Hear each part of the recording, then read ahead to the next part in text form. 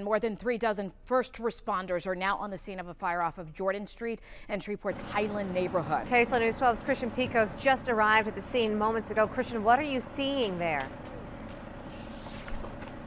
Yeah, this house right now has been burning for at least an hour, I'm told by witnesses on scene. You can just check out the sheer size of these flames right now. It has obviously invisibly spread to other parts uh, of this structure that was burned. Right now, from what I'm seeing, it almost looks like two structures have been torched by this fire. You can see some of the trees that are burning as we speak as well. A huge presence from uh, from first responders, from firefighters, from police officers right now working to battle this flame. Adria, Dominique, you guys have to remember that right now, the city is dealing with very, very low water pressure. We have been talking about these water issues now for days. And this is just a consequence now with this fire raging right now. Firefighters are working as hard as they can to douse the flames. I'm seeing a crew to the far right over there. One, two, three, four. It looks like six firefighters holding on to one hose, uh, trying to hit this hit this fire right now. I'm only seeing it hit with one hose. I'm not seeing multiple hoses trying to douse the flames right now, but uh, this is the Highland neighborhood. I was able to talk to a couple of people on scene. I'm, I'm, trying to get more information right now. They told me that it's been burning for at least an hour right now, but Adria Dominique, these flames, they're hard, they're hard to, to, to believe. I mean, this obviously the structure is a total loss, but it, it does not look like this fire is going to be doused anytime soon. Obviously, we are going to work very hard to find out how this fire started, but most importantly, God forbid if anybody was inside at the time of the fire. Adria Dominique, this is this is this is crazy. I haven't seen anything like this probably since First Bossier went up in flames a couple of years ago. Christian, if you can hear us, uh, stay with us really quick. You mentioned the low water pressure that the city is still mm -hmm. dealing with. Do you see if that's having an impact in that area? I know that Highland was one of the areas that was supposed to be brought back up with pressure. Right. I believe it was today. So we don't know if that's happened already. Yeah, I mean, I see, I can see, well, let's here, let's go to, let's go to the right. You see a crane uh, that's being lifted from one of the fire trucks right here that's slowly moving, hopefully to address the flames over here. Uh, again, there, I see one fire crew on the far side of the structure with one hose battling the flames right now. I mean, it, I'm not a firefighting expert, so I don't know how much water pressure should be normally coming out of one of these hoses, but it looks like there is a fair amount, but guys, one hose is not going to be enough to fully douse these flames as we speak. I mean, it's you see trees that are burning right here as well. Then obviously you're very concerned about nearby structures that could catch fire uh, as we speak. I mean, it, it looks like from what I'm seeing right here from my vantage point across the street, there is a ladder truck that is aiming another hose from above.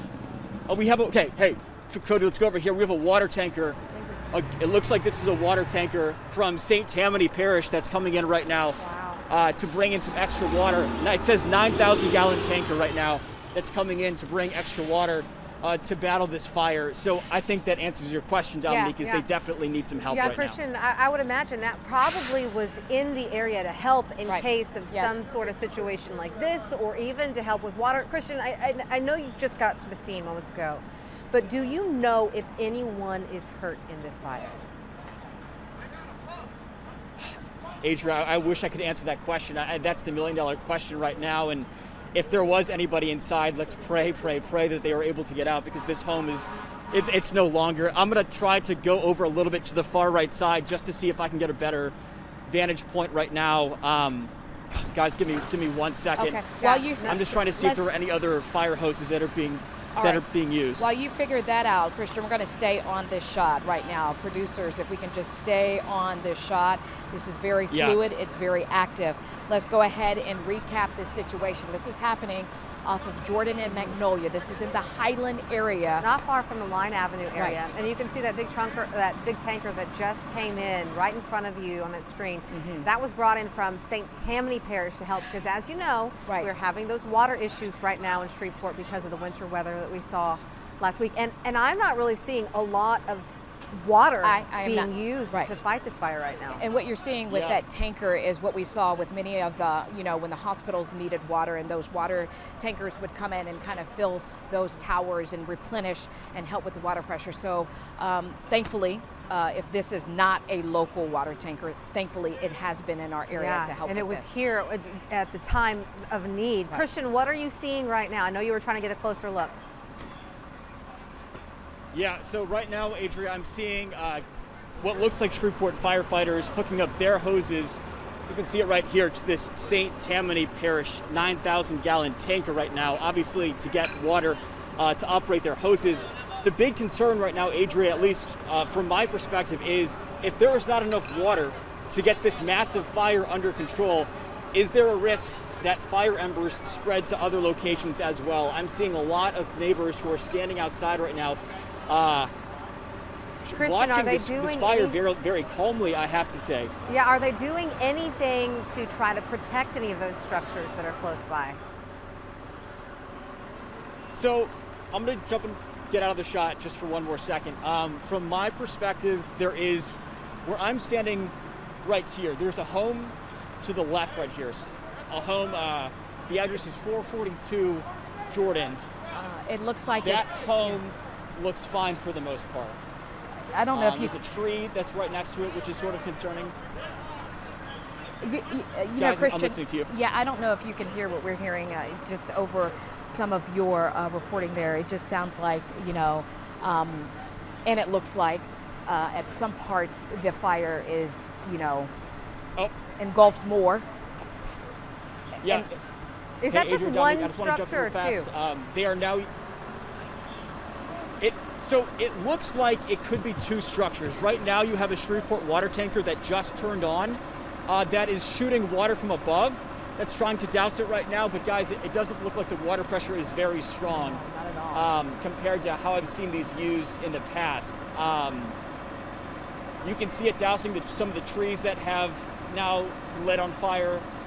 Um, I mean, you have fire crews standing here trying to figure out you know the best way to, to handle this situation right now. But I think this just tells you uh, what's what's happening right now and how serious the situation is. The fact that they're bringing in a water tanker from St. Tammany Parish to fight this fire, it, this is a big deal, and it seems like two structures uh, went up in flames. You can see chimneys that are still standing by themselves uh, as rubble just smolders all around them. Yeah, Christian, I'm looking at this image that you guys, you and Cody, are showing us uh, out there from the scene. And if you can look uh, at the very top right part of your screen, you see that ladder truck that's up there dousing that water. And you're right, Christian, it barely looks like anything is coming out from uh, that it's like it's a very small stream. Yeah, yeah. you're exactly right, Adria. Yeah, that's going to be tough um, to fight a fire the, this the of this magnitude. Part too is